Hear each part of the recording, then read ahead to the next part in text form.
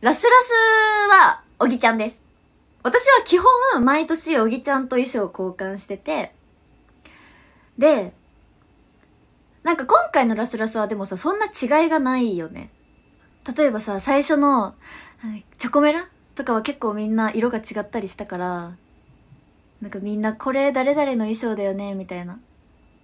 え、あの、本当に、あのね、基本的に、えっと、足の話をしたくて、私足めっちゃ大きいんですね。足がとにかく大きいんですよ、私は。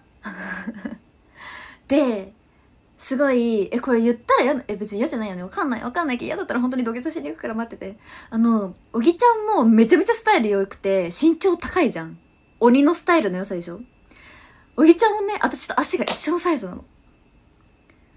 そう、LL。LL っていうサイズなんだけど、だから、めっちゃ靴共有してる。衣装の靴。知らなかったでしょ？私の靴基本的に、小木っていうシールと高松っていうシールが貼ってあるんですよ。だから、なんかたまに小木ちゃんの靴がないと、え？みたいな。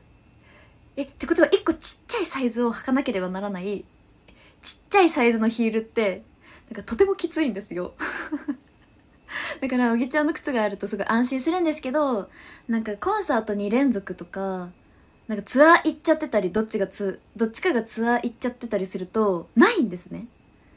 そう。だからいつもの靴じゃないの。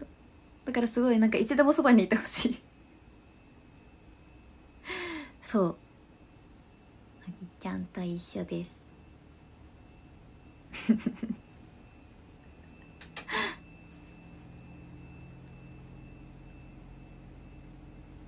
はい。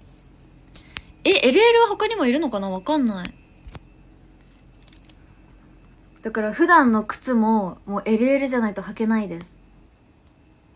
全然靴共有する衣装で、なんかシングルのそのグループだけの衣装とかだったらしないよ。もちろん。